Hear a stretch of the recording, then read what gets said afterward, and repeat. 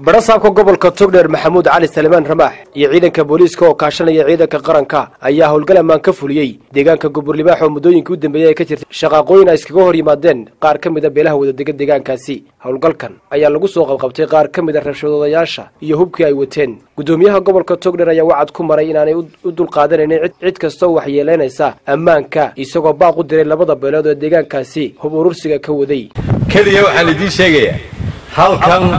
aynu iminka joognaa cid aan xukuumadda ahayn inaanay ka talinay xukuumaddaa mas'uulkaa ciidankaa booliiskaa mas'uulkaa nin looga habranayaa iyo nin cid wax laga weydiinayaa kale ma jirto inaan reer gumburlibaaxow dheeldheelkaa dheeldheelaysa inaanu rag kala saarayn inaanu dawladdii idinka kala saarayn aad baa laydinka dulqaatay aad baa laydin ixtiraamay aad baa laysugu soo hinjiday way idiin dhadhansami wey konton minid baan halkaa ku imi konton minid buu ciidanku ku dul joogaa. waa in koob shaaa laga cabbaa ma dhacayso inuu ciidanku lagaga dhinto ama ku silxo hawadaa cidladaa kelmaddii dhaqaaqdaba waanu dul taaganahay. halkii qori lagu sheegaba waa dul taaganahay. meelaha la ciidan baa joogana haddaanu gelaynaa. kii telefoon u dirayo u dir kii oday dalbanayo dalbo annagu wixii aanu aragno sida qoryaha loo qabtay baanu u qabanaynaa. Weliba meel dheer baa laga dooni doonaa baryadooduna way badan doontaa. Kuwa baryada loogu imanayo kooban ka ay ma saamaxayno. Soo halkaa iminka toddobaa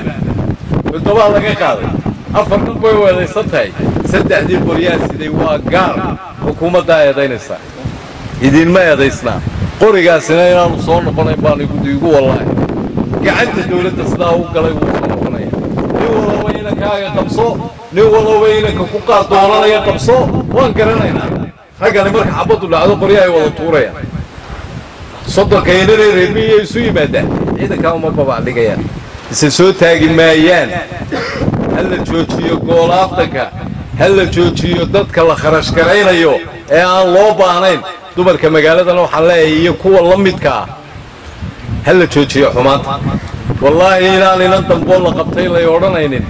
waa inantii markuurku ka dhintay waatuu adeerka u ahaa aan sii dayno aad baanu u dulqaadan naga soo dhammaaday dulqaadka maalin walba halkaa laba boqol maalin walba laba boqol oo ciidani joogi maaya waxaas ka waa garanaysa waa sandaqad dhulka ilaahay ina siiyey ee intaa ballaadhka leeg halkaasoo sandaqad maxaa keenay nafaa ku baxay welina way socotaa deeldeel bay noqonaysaa caqligeennaa lagu ciyaarayaa haddii maalin walba iyadoo ciidankii milaytariga iyo buliiskiiba joogaan oonu dhex taaganahay ee intaannu amar bixinay la ogyahay ninka halkaa geesta kale taliyaasha ciidanka kala duwan ayaa iyaguna sheegay inay gacan adag ku qabanayaan cid kasta oo ka hor timaada xasiloonida iyo ammaanka deegaankaasi. Annagu ciidan baanu nahay waxa u yaalla wixii amniga waajib lagu siiyo un inay qabtaan halkan shaqaaqaa ku soo noqnoqotay badhasaabka gobolka togdheer mudduu ku soo noqnoqonayay ciidamadu mudday ku soo noqnoqonayeen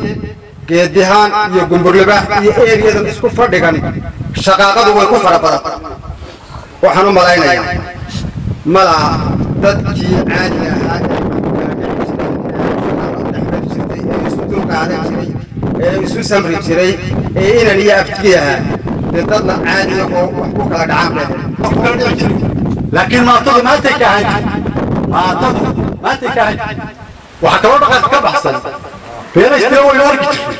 الدنيا هي ما تضح بعان الدنيا للقلوب وحس لقول وليقول مال للقلوب حشيش للقلوب هكذا يقول حاجة هكذا يقول هكذا